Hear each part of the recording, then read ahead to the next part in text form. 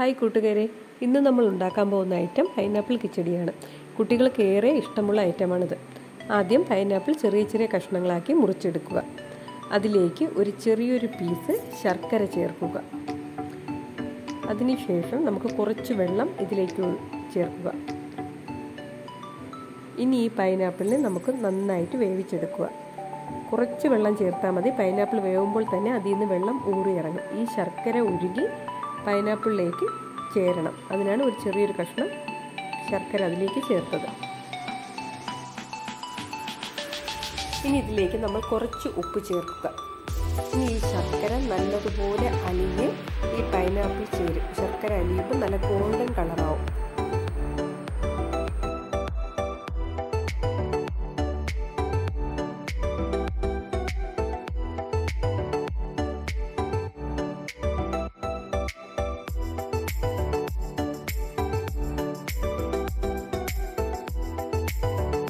അങ്ങനെ ഈ പൈനാപ്പിളിൽ വെള്ളമെല്ലാം വറ്റിയിട്ടുണ്ട്. പൈനാപ്പിളിന്റെ നിറം മാറിയിട്ടുണ്ട്. അപ്പോൾ ഈ പാത്രത്തിന് ചുറ്റും ഇങ്ങനെ കറുത്ത് കാണുന്നത് ശർക്കര ഉരുകിയതിന്റെ പാടാണ്. അത് സ്റ്റീൽ പാത്രമായതുകൊണ്ടാണ് ഇങ്ങനെ ഇരിക്കുന്നത്. നോൺ സ്റ്റിക്ക് ആണെങ്കിൽ ഇതിങ്ങനെ അറിയാൻ പറ്റുകയില്ല. അപ്പോൾ ഇത് നല്ല ബ്രൗൺ നിറമായിട്ടുണ്ട്. കുറച്ചും കൂടെ വെള്ളം വറ്റിയതിന് ശേഷമാണ് നമ്മളിത് എടുക്കുന്നത്.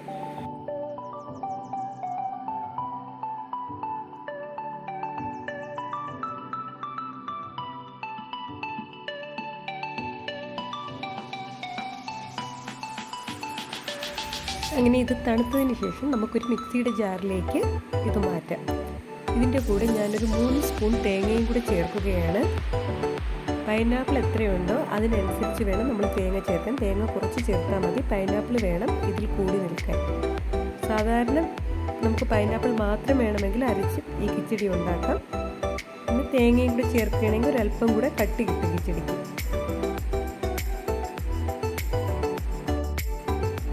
ഇനി ഇതിലേക്ക് കുറച്ച് ജീരകവും കൂടി ചേർക്കാം. സാധാരണ ഞാൻ ഈ പൈനാപ്പിൾ കിച്ചടി ഉണ്ടാക്കുമ്പോൾ ജീരകം ചേർക്കുകയില്ല. ആ ജീരകം ചേർക്കുമ്പോൾ കിച്ചടിക്ക് വേറൊരു രുചിയാണ് കിട്ടുന്നത്. എന്നാൽ ജീരകം ഇല്ലാതെ ഉണ്ടാക്കുകയാണെങ്കിൽ അതും ഒരു പ്രത്യേക രുചിയാണ്. അതിനുശേഷം നമുക്കിത് നന്നായിട്ട് അരച്ചെടുക്കാം. ഇനി നമുക്ക് ഈ കിച്ചടി കടുവറുത്തെടുക്കാം. സാധാരണ എങ്ങനെയാണോ കടുവറുക്കുന്നത് അതുപോലെ തന്നെ നമ്മൾ ഈ കിച്ചടിയും കടുവറുത്തെടുക്കും. കടുവറുത്തെടുക്കാതെ വേണമെങ്കിൽ നമുക്ക് ഈ കിച്ചടി ചൂടാക്കി എടുക്കാം. ഇപ്പോൾ ഞാനിത് കടു വറുത്താണ് എടുക്കുന്നത്.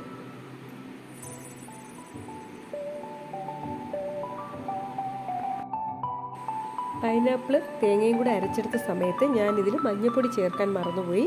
ഇപ്പോഴാണ് ഞാനിതിൽ മഞ്ഞൾപ്പൊടി ചേർത്തത്. മഞ്ഞൾപ്പൊടി ചേർത്താൽ മാത്രമേ ഇതിന് നല്ല കളർ കിട്ടുകയുള്ളൂ. അപ്പോൾ നമ്മൾ ആദ്യം അരച്ചെടുത്തതിനെ കാട്ടി ഞാൻ ആ മഞ്ഞൾപ്പൊടിയൊക്കെ എടുത്തെടുത്തപ്പോൾ ചേർത്തെടുത്തപ്പോൾ നല്ല കളറാണ് ഇതിന് കിട്ടിയിരിക്കുന്നത്. ഈ കളർ വേണം പൈനാപ്പിൾ കിച്ചടിക്ക് വേണ്ടത്.